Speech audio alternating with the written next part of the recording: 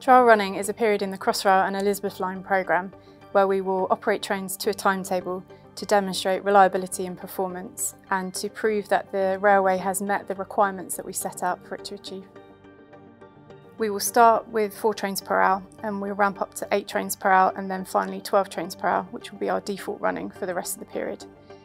That allows us to build mileage, which in turn evidences the reliability of the system over time.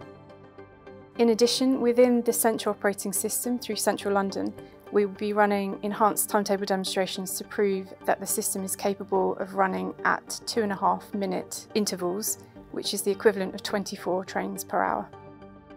During trial running, as we're running trains to a more intensive timetable than we ever have done before, there'll be more and more trains passing through each station. We'll see platform staff beginning to populate the platforms and there'll be operational staff in the control room. As well as running trains to timetable, we also have some specific tasks to achieve in the trial running period.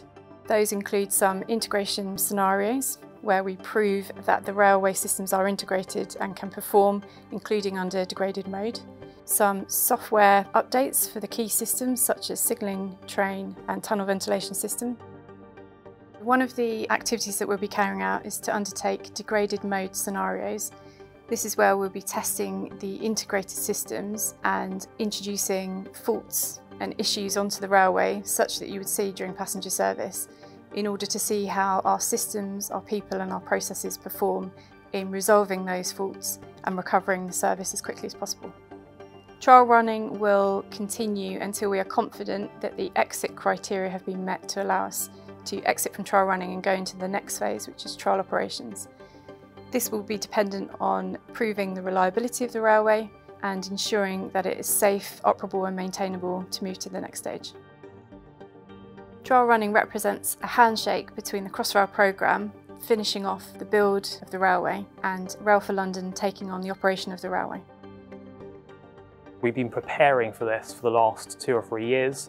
We're in a really good place to kind of be able to take on the railway. We've got people who are trained, people who have been practicing through simulations and exercises um, how we're going to operate the railway. And this next stage is as much as an opportunity for um, the programme to continue delivering uh, exercising through trial running uh, and trial operations, it's also more of an opportunity for, those operators and our maintainers to really get used to the system, really get used to the sort of the real world quirks that any kind of system has and to be in a really confident position to kind of take us out to the full end of that programme uh, and then deliver a reliable and performing railway for our passengers.